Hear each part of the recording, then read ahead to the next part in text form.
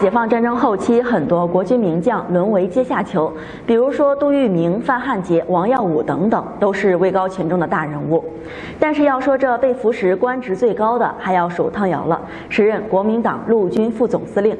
汤瑶这个名字对于很多人来说不是很熟悉，因为他长期担任参谋长的职务，没有上阵杀敌的机会，所以名气不是很大。不过这个人也是很有传奇色彩的。汤瑶一八九七年生于安徽合肥，早年曾经加入过青帮，跟黄金荣、杜月笙都有过接触。后来开始从军，担任过黄埔军校兵器教官，也算是桃李满天下了。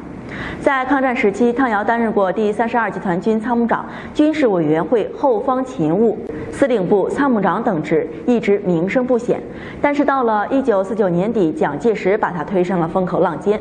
一九四九年十二月，卢汉率部起义，蒋介石大怒，火线任命汤瑶为陆军副总司令兼第八兵团总司令，率四万三千人进驻云南。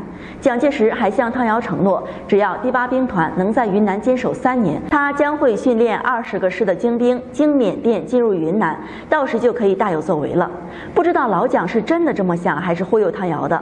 如果老蒋真的有本事训练二十个师的精兵大举反攻，那他也不会在解放战争中一败涂地了。再说汤瑶在国民党军中混了这么多年，当然也不是傻子，一面应承着老蒋的话，一面准备着逃离。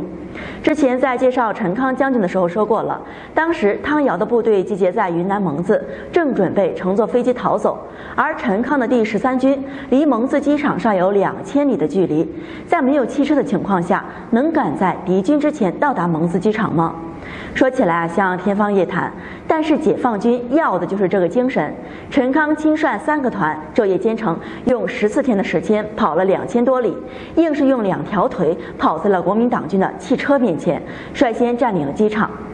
当时汤瑶还在跟军官们看戏，完全没有想到解放军竟然能这么快就到达机场。被俘后，汤瑶还不可思议地说。按照中外军队的行军原则，步兵正常日行不足百里，可是你们违背了行军原则，一天竟急进两百多里。我根本就没有想到你们会来得这么快。汤瑶被俘后，不像有些军官将领那样顽固不化，而是积极配合改造。再加上他性格幽默，相声、评书、大鼓样样精通，每年春节的联欢会都是主力，因此很受欢迎。